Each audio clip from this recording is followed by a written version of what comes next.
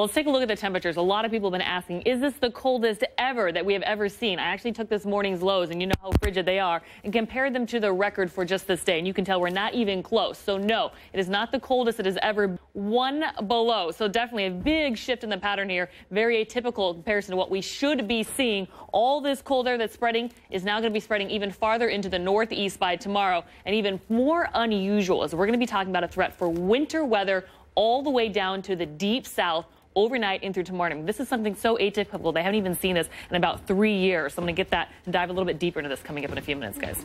Dangerous cold we're looking at, Eden. My God. Freezing rain in the south. Thanks so much. Sure. All right, we now know we are. I mean, that's the thing. We're all complaining right now with negative 30 wind chills, but this isn't even the big story today. Down into the deep south, not just kind of the south, the deep south, places like New Orleans could be talking about several inches of snow by tomorrow morning. This is so atypical, and I want you to know they don't know if they're going to get a lot of snow or a lot of ice. Very tricky when you talk about that cold air moving that far south. I want to take you back and kind of explain why. So we know we have all that cold air. It's trying to go as fast as it can, and there's a lot of moisture down there. But depending on how far south that cold air goes, the type of weather they get completely changes. Back to the basics. You have warm air, of course, right across the Gulf. You have cold air when it overrides it. Depending on how far that cold air goes in, the warmer it is, you're going to get rain all the way. The colder it is, you're going to get snow all the way. Somewhere in between, you're going to get freezing rain or sleet.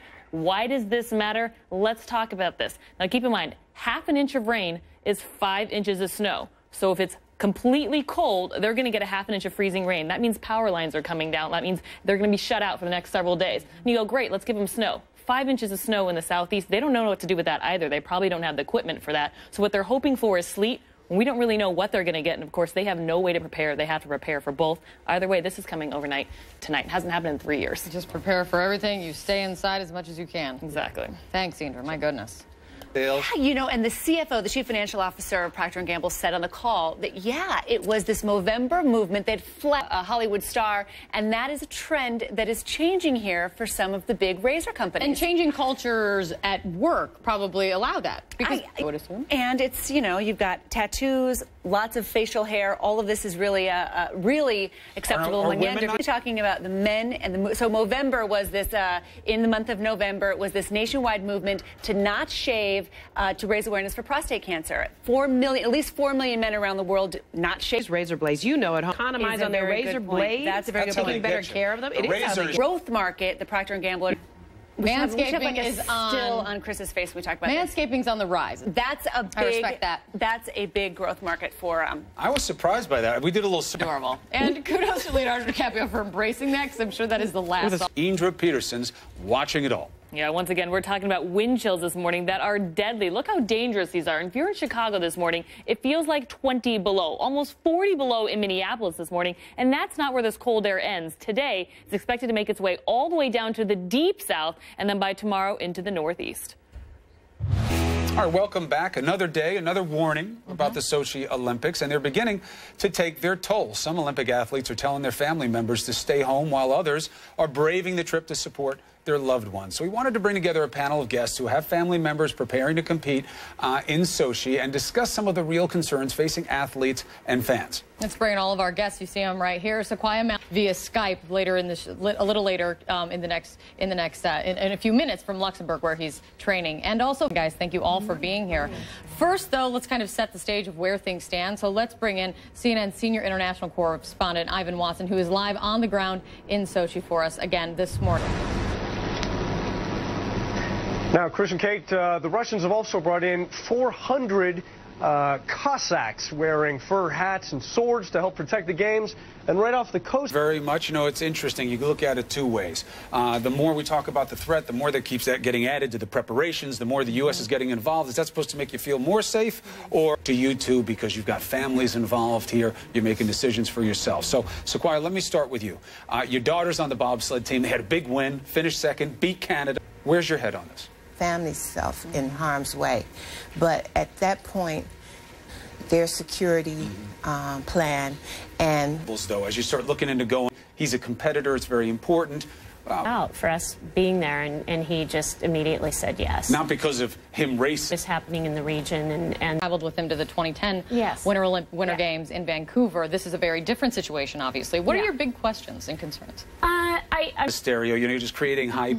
Has there to know that the government is thinking about it, um, and uh, sort of they are, um, and they have a communications plan. Much more to discuss on the security situation in Sequoia and some of your concerns as well. But let's take just a quick moment and get over to Michaela. We've been looking at. There's been a lot of reaction on social media surrounding the Sochi Olympics and. Welcome back to New Day once again. We're continuing our discussion with family members of Olympic athletes who have some very serious and real concerns about safety in Sochi leading up to the Games, just 11 days away now, of course. All right, so let's bring in Roberto Carcelen. He is a cross-country skier competing in Sochi for the Peruvian team. Roberto joins us via Skype from Luxembourg. He's still getting in some final race prep before he goes here. We have his wife, Kate, with us, joining us on the panel. Roberto, can you hear us?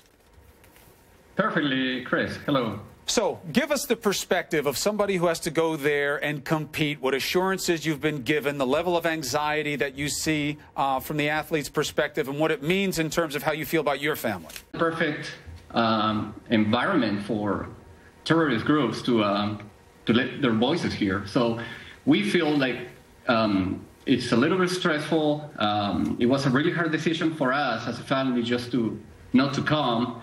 I'm going to be up training in, in the month. That are lingering. I mean, I know obviously there's a lot of communication with um, the Olympic Organizing Committee, but do you have any specific concerns still? Because you're about to head to Sochi.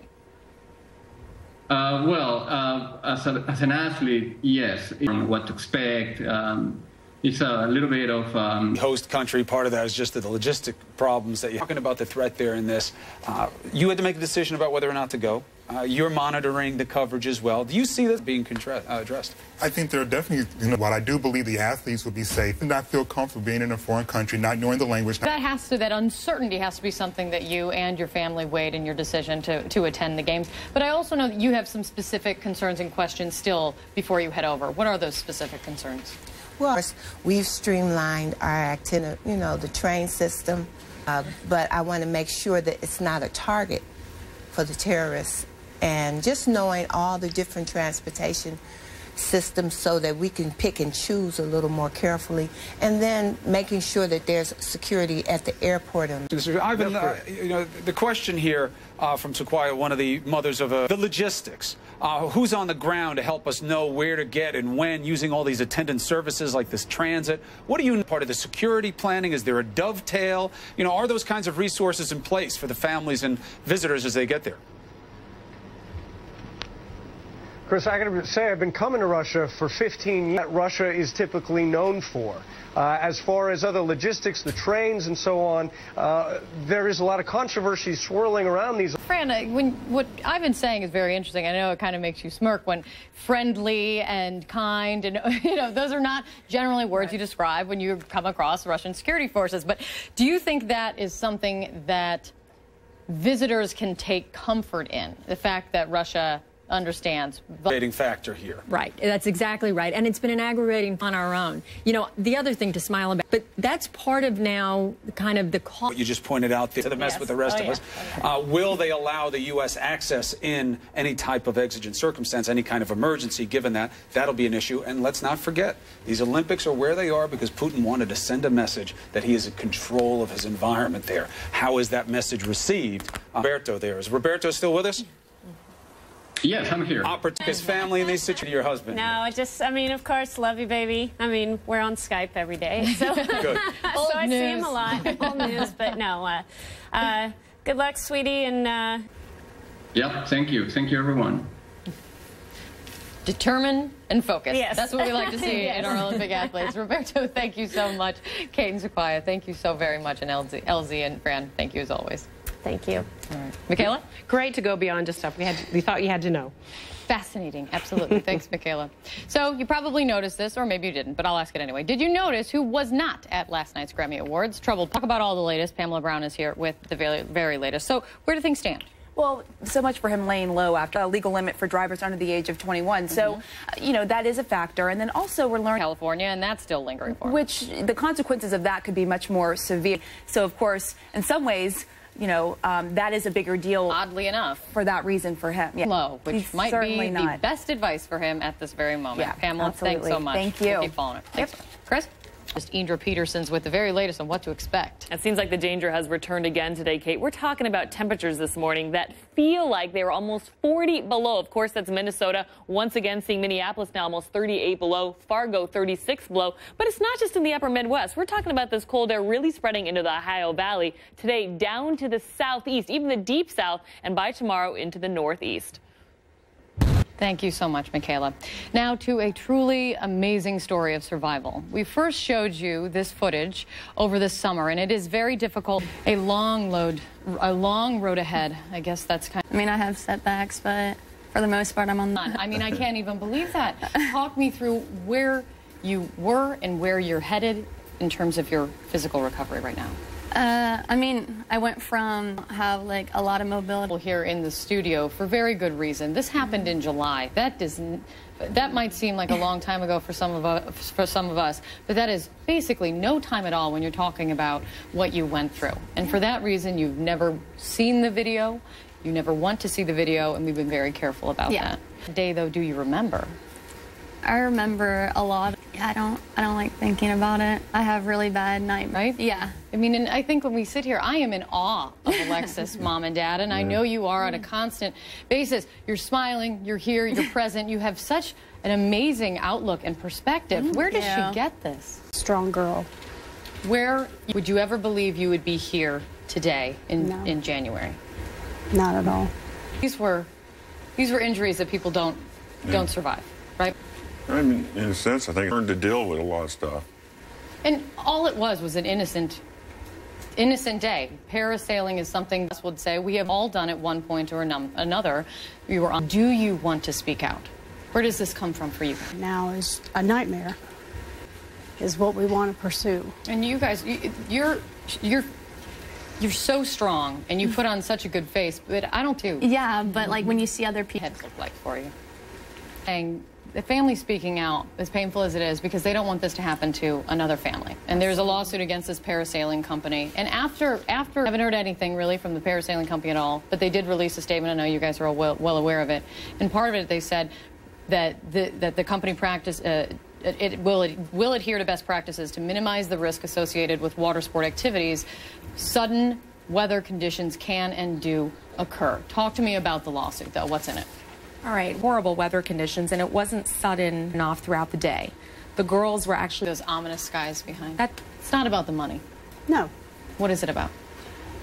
Very easily happened here. And Yeah. one thing we can be thankful for is that you're able to sit here today. Yeah. You are an inspiration with your strength and your fortitude and your ability to find the strength within you to keep on keeping on every day. Thank you. Thank you, Alexis. and, and thanks, Debbie. Chris?